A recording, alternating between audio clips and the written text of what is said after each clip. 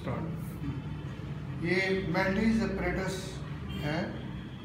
इसमें electrical tuning fork कहते हैं इसे। इसमें कॉयल होते हैं। ये एक अपरेटस है Melde's apparatus power supply setup में हम पावर सप्लाई भी देते हैं। दो एम्पियर की इसमें पावर सप्लाई लगेगी। दो वोल्ट चार वोल्ट छः वोल्ट कोई सी भी हो सकती है। मैंने इस समय इसको छः वोल्ट के ऊपर रखा है और दो एम्पियर के ऊपर। यहाँ से पॉजिटिव से पॉजिटिव कनेक्ट कर दिया। धागे के साथ लगा दिया एक पुली के साथ वेट लगा दिया। पुली इसलिए मैंने ड्राइंग को यूज़ किया टेबल मेरे नहीं आ पा रहा है। ये इसके साथ स्लॉटेड वेट का हमने सेट दिया हुआ वेट एक वेट सेट है। और एक हम स्केल यूज़ करेंगे। सबसे इनिशियल सेटिंग है कि हॉरिजेंटल पोजीशन में हम इसको सेंटर में लेते हैं यहाँ से दोनों तरफ़ से बराबर होना चाहिए। इसको लगा देंगे। और जब हम इसको ऑन करेंगे तो यहाँ से ये इसकी वेव जनरेट करेगा ये, ये। इसमें इनिशियली मैंने 50 ग्राम का वेट रखा हुआ है और ये इसका वेव जनरेट हो गया। ये एक वेव है दूसरी है, दूसरी चौथी है, पूरा वेव बन गया।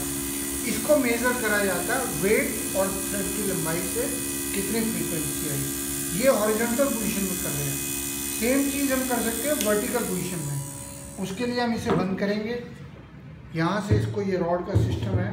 वर्टिकल पोजीशन में यहाँ से हम नीचे से डाल दिया और ये हमने वर्टिकल पोजीशन में यूज़ किया। उसके लिए हमें थोड़ा सा हाइट बढ़ा के दोबारा इसको करने का सिस्टम है। यहाँ से हम लगा लेते हैं और अब जब दोबारा ऑन करेंगे, ये वाला सेटिंग करेंगे तो ये आपको वेव दिखाई दे रही है। अब ये इतनी बड़ी वेव बन रही है और हम इसको डिस्टेंस भी मेंटेन कर सकते हैं। ये इससे ज़्यादा वेव बनती वोल्टेज कम ज़्यादा कर सकते हैं, उससे फ्रीक्वेंसी का फ़र्क पड़ता है। सेम कैलकुलेशन है।